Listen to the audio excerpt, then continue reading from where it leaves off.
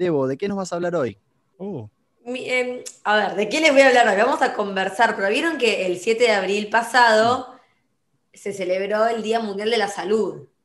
O sea, y como que pensando en esto, justo en la semana, hoy estamos a día 9, qué bueno es concientizar un poco a la gente de la importancia de la salud. Y por eso se me ocurrió que charlemos un poco más específico de la definición que la, OMS trae, eh, sobre, la ONU, perdón, trae sobre la salud eh, mental o la salud en general, cómo incluye la salud mental dentro de la definición y darle un poco de importancia eh, a, esto, como concientizar un poco a la gente de la importancia de cuidarnos en todas las áreas. Les digo la definición solamente que, que, lanzó o sea, la ONU, cómo, la enuncia la salud en general, y ella dice que es un estado de plenitud físico, mental y de bienestar social. No solamente se refiere a ausencia de dolencias o enfermedades, sino que es un bienestar que tiene que ver con tres áreas importantes, la física, la mental y la social.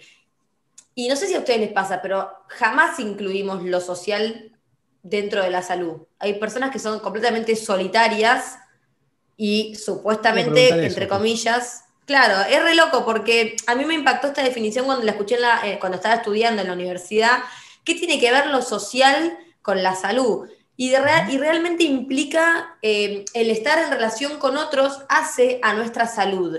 Y la salud, como te dije recién, tiene que ver con estas áreas, no solamente lo físico, sino también lo mental, que sería también lo emocional, que sería toda la parte almática, le podemos decir, que yo también incluiría ahí lo espiritual entre nosotros, entre paréntesis, entre comillas, y también lo social. Y cuando uno le pregunta, viste, a un amigo, che, ¿cómo estás? ¿Cómo, ¿Cómo estás de salud? Uno siempre tiende a responder, estoy bien, estoy haciendo ejercicio, no sé, estoy, bajé de peso. Nunca uno habla sobre. Me salieron, tengo, uh, tengo colesterol, tengo que ver qué hago con eso. Pero uno cuando le hacen esa pregunta responde a nivel físico. No que te pones a responder, y a nivel almático estoy tres puntos porque tuve una discusión con. No, uno responde a nivel, qué sé yo, a nivel físico estoy bien. Tengo síntomas pánicos. Tal cual, uno no es de responder así. Entonces, creo que está bueno que le demos un touch eh, ahora de importancia y entender a la salud de manera integral. No solo de manera física, sino también de manera emocional, mental y también relacional. Ah, bueno lo de social. Me, recontra llama la atención el hecho de que cuando hablen de salud mencionen la parte social, ¿no? Eh, no sigo con, me explotó la cabeza, me hizo bloom cuando dijo. Eh, claro, porque hoy en día sí se habla de, la salud mental, creo que es como que tiene más eh, marketing hoy en día, bien hecho, digo. La manera de hablar con alguien, con un especialista y decir, bueno, la verdad que tengo que cuidar también la salud mental tengo que, de hecho, la palabra, el chiste de la tóxica, el tóxico, eh, mm. viene de desintoxicarte, ah, desintoxicarte em, justamente eh, eso, el, alma. O no ser tóxico o no juntarte con gente que te contamine. A, a, mí mis amigos me dicen que yo en esa área estoy excedida. Es como que tengo que bajar un poco porque también mucha vida social te, perjudica, o sea, no está bueno tampoco, señora Marta, tener mucha actividad social. Todo tiene que ser en un justo equilibrio, o sea, las tres áreas tienen que estar como niveladas, porque si no como que uno se va para otro lado y tampoco, y después te, genera insalud, ¿no? Lo que llamamos la no salud. Entonces, bueno, es en justo equilibrio, es bueno entender a la salud en general no solamente teniendo en cuenta lo físico, sino las tres áreas. Es importantísimo. Y hoy Em, más que antes, lamentablemente, aumentaron un montón las consultas y, se llenan los consultorios y hablo con colegas o con psiquiatras y se llenan, no, no puedo, no tengo, estoy dando sobreturnos, no, no tengo, o sea, más disponibilidad. ¿Por qué? Porque la gente está como entrando en situaciones o en, o en, o en conflictos por los cuales no puede resolver. Entonces, ¿qué hacer? Se me ocurría charlar hoy con ustedes en el poco tiempo que nos queda, ¿qué hacer para poder aumentar nuestra salud, para poder generar bienestar tanto físico, emocional y social? ¿Cómo hacer para generarlo? ¿Cómo hacer para, para poder alimentar esto? Sí. Dentro de lo que vas a decir de cómo podemos hacer, ¿está cómo tener una buena salud social? Mira, lo que voy a hablar son sobre factores de protección. Y obviamente hay un factor de protección que tiene que ver con la habilidad de, relacionarme de manera satisfactoria, de tener buenos vínculos. No sé, no creo que lleguemos a, hablarlos todos, solamente hagamos una introducción, si les parece, sobre qué son los factores de protección, porque siempre hablamos de factores de riesgo siempre hablamos en salud mental o en, todo lo que tiene que ver con esto de, factores de riesgo. Entonces, ¿qué son factores de riesgo? Son cosas que nos predisponen o nos generan cierta vulnerabilidad para contraer una enfermedad. Si tuviste padres en depresión, si tuviste algún suicidio en la familia, si te criaste en un ambiente desfavorable, todo eso hace que tengas factores de riesgo y que aumente la probabilidad de que vos te enfermes. Ahora, ¿qué son los factores protectores. Poco se habla de los factores protectores y tiene que ver mucho con esto que vamos a hablar en la masterclass tenés que decir Ángel ahí como. no, pero tenés que decirlo vos. Vos tenés que decir. No, a, mí, no me sale como con ese, a mí no me sale con ese ímpetu que lo dice él, y él aparte le pone mucha energía, le gusta decir. Entonces es como esto de, no puede, ¿viste? cuando no puede la conductora decir el nombre de la marca, le tiene que decir. Es un caballero zodíaco. Sí, Me siento como cuando mirábamos los canales de dibujitos que decía, te compraste el nuevo juguete, el autito ese que era un sí, Eso, eso. Ah, eso quise hacer, pero no, me siguieron. estaban distraídos, chicos, estaban distraídos. No, no, no. me, no me están dando. tenemos Yo no te veo. Tenemos un, tenemos un lindo delay, vos no me ves. Eh, entonces yo estaba tratando de ir al chat a ver cómo, cómo estaba el asunto. Eh, está la gente diciendo masterclass, así como decimos nosotros. Eh, y no quería interrumpir. Como queda poco tiempo y tenemos que, charlar lo que menos queremos hacer, ya te interrumpimos bastante. Sí. No, no, me gusta que me interrumpan. Bueno, pero lo que va a pasar en esta masterclass justamente es hablar un poco sobre la inteligencia emocional. Y los factores de protección tienen mucha relación con eso. ¿Por qué? Porque hacen a nuestra salud mental, son como la base de la salud mental. Los factores de protección nos permiten tener una salud mental equilibrada y por consecuencia, cuando uno está bien por adentro, lo que siempre hablamos, uno está bien por afuera, porque cuando uno tiene una buena salud mental, entiende que tiene que cuidar también lo físico, entiende que tiene que cuidar lo social. Entonces es como un circuito que todo se retroalimenta. Entonces, ¿cuáles son estos factores de protección? ¿Cuáles son para mí, a mi criterio, los más importantes? Autoestima. Te los voy a nombrar. Tomen nota, Jorge, en el taller. Yo se los voy a nombrar. Ustedes toman nota Y cualquier consulta, o si quieren ampliar ustedes, que son como eh, Gonzalito y Ángel, la voz de la gente, si ustedes quieren eh, que sobre alguno demos alguna eh, característica especial, me avisan, yo se los nombro. Autoestima, fortaleza emocional, pensamiento positivo, destrezas sociales, que tiene que ver con esto de lo social, tener cintura social, capacidad de resolución de conflictos, manejo del estrés y sentimientos de control.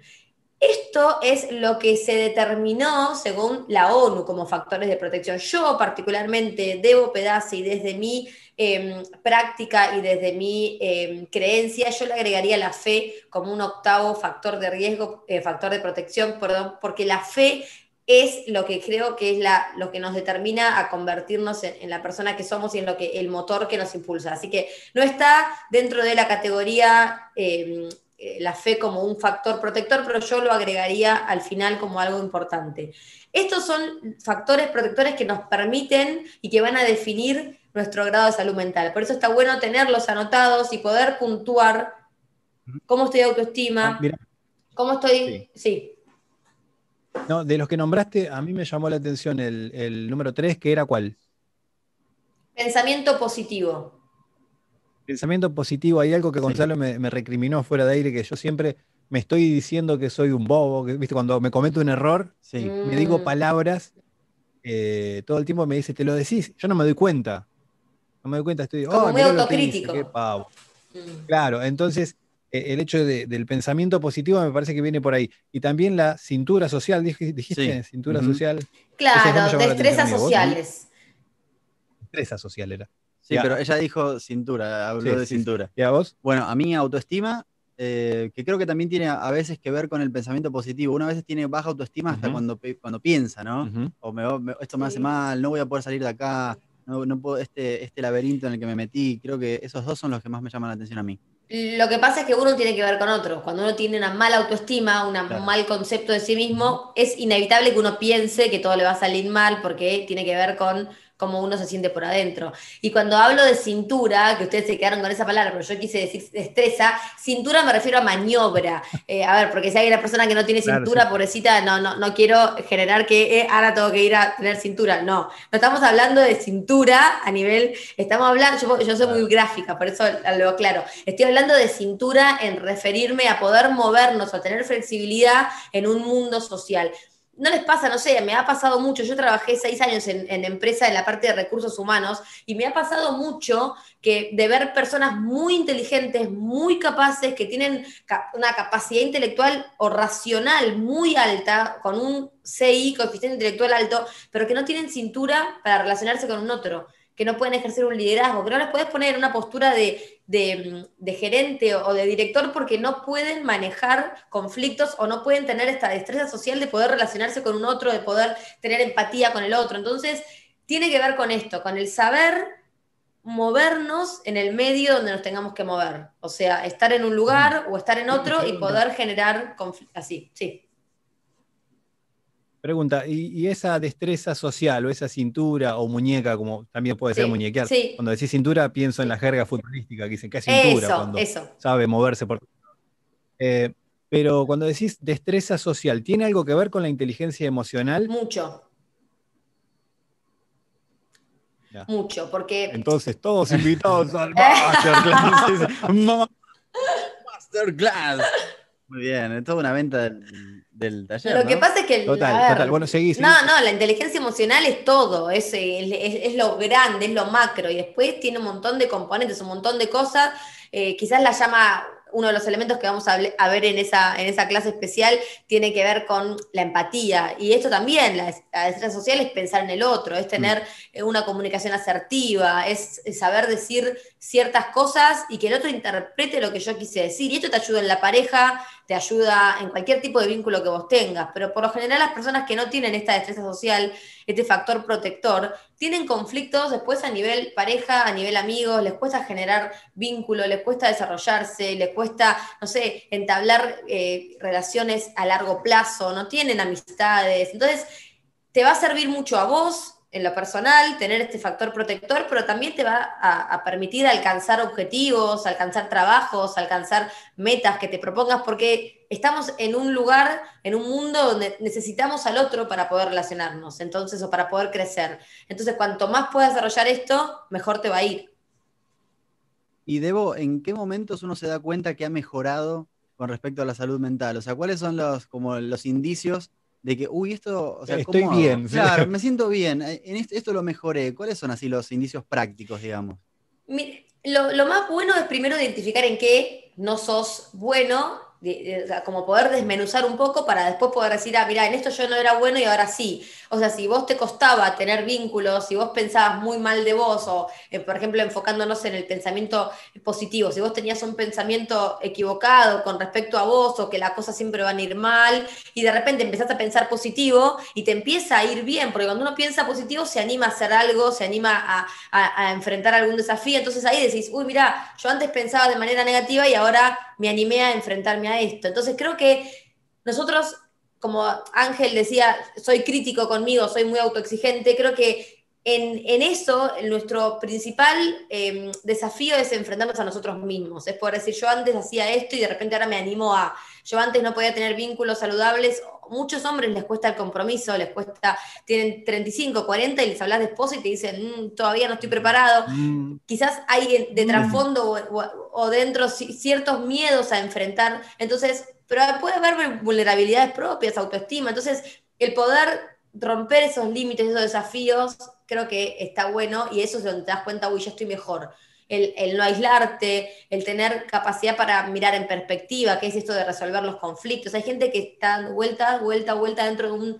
y no puede salir de eso y de repente en un día para otro entiende esto, ve que le cuesta, porque lo primero siempre decimos es identificar identifico que soy una persona que me cuesta enfrentar los conflictos, los cebado, me voy y esto lo rastro y después es una, se hizo una pelota enorme de algo que era chiquito, bueno, en cambio a eso lo, lo identifico, veo, me cuesta enfrentar este conflicto, bueno, lo resuelvo, ahí digo, wow, avancé en esto. Es como desafiarte a vos mismo en cada cosa que vas viendo que te va costando. Tiene que ver con eso la salud. Y obviamente te vas a sentir mejor Y cuando me siento mejor, pienso mejor, actúo mejor. Una, una última antes de, cerrar el programa. Y ahora la pandemia destapó, eh, por ejemplo, a mí también me pasó, y de hecho por eso empecé terapia, a mí no me costaba lo social, ¿no? Y de repente me empezó a costar lo social. Mm, Entonces, ¿cómo, ¿cómo, me doy cuenta que evoluciona otra vez? ¿O cómo vuelvo a tener la buena salud? Es el síndrome de la cabaña. cada uno es distinto. sí. ¿Sabés qué? Nos costó adaptarnos a, éramos redes sociales, había que encerrarse y nos recostó encerrarnos. Nos acostumbramos a ese encierro, nos acostumbramos a, a, bajarle el nivel social, el miedo tomó un poco protagonismo y de repente ahora nos obligan a salir. Bueno, listo, todo volvió a la normalidad, salgan. Los chicos no quieren salir, los chicos no quieren ir a la escuela, en algunos casos, no me ha pasado de ver. O los adultos diciendo, ay, prefiero guardarme un poquito más, espero, eh, no voy como viendo a ver qué va pasando, se van guiando por noticias. Entonces, em, creo que ahí tenemos que volver a ser animales de adaptación, el volver como a flexibilizarnos, el volver a decir, bueno, a ver, freno, me reorganizo y veo qué hago. Y, si hay personas que deciden quedarse un poco más adentro, no está mal, y las que deciden salir tampoco está mal. Es cuestión de lo que a vos te haga bien o a vos te haga mal. ¿Vos querés salir y no podés? Consultá, preguntá, che, ¿cómo puedo hacer para, generar esto? ¿Cómo puedo hacer para volver a ser el que era antes? Creo que tiene que ver un poco con trastornos que se fueron como eh, enquistando en la gente, ¿no? El miedo, eh, la tristeza, el, que perdió familiares, eh, generó traumas también esta pandemia. Y ahora en Argentina, por ejemplo, volvimos a una fase, no sé si uno, pero dos, cerraron otra vez todo, volvieron otra vez al confinamiento. Entonces. Eh, en Colombia también pasó lo mismo, en varios países. Mm. Sí, porque se vino como una segunda ola, están hablando. Entonces es como que, ¿cómo me preparo para otra, para enfrentar otra pandemia? ¿Con qué recursos cuento? Lo bueno, creo que la diferencia entre año 2021 y, año 2020 es que ahora estamos, sabemos cómo enfrentarlo, ya lo enfrentamos antes. Y el que generó recursos puede otra vez usar esos recursos para poder enfrentarse a lo que, a lo que venga ahora en el 2021. Excelente, la licenciada Débora Pedaces la estaban escuchando em, y la verdad es que nos estamos quedando sin tiempo, Debo, pero lo estamos disfrutando muchísimo. También en el chat, en, Instagram, muchísimos mensajes. Este, WhatsApp, en todos lados. WhatsApp, en todos lados llegando preguntas que no vamos a contestar al aire, pero lo que podemos hacer tal vez es ahora que termina el programa, nos vamos para, Instagram todos y hacemos un live. ¿Te parece, Angel? No sé si no, lo, vamos a comprometer a la licenciada. No sé si tiene no, ahora tiene, me parece que tiene, ah, ocupado. No, hasta 11 y cuarto. Hasta 11 y cuarto puedo. 11 y cuarto ya arranco otra vez. Tal vez podamos hacer entonces. Ahí, la llamamos un ratito, nos vamos. CTI.psicología, ya se viene energía total, no estoy viendo el reloj, es todo suyo, Gonzalo, nos vamos. Sí, exactamente, nos vamos a ir, así que gracias por estar con nosotros aquí, que tenga buen fin de semana y nos vemos. Nos vemos la próxima. Chao. Beso en la frente. Adiós.